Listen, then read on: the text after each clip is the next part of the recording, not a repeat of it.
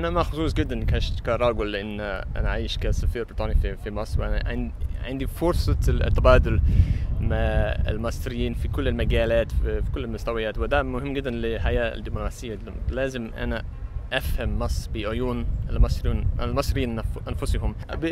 بصراحة شخصيا أنا بحب الشكشوكه كتير.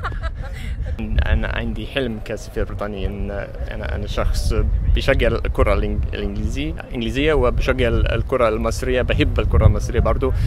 فالحلم آه إن أنا أكون السفير البريطاني اللي موجود في مصر في وقت في في في نهاية ال- الكأس العالم في نهاية المونديال. هنشوف.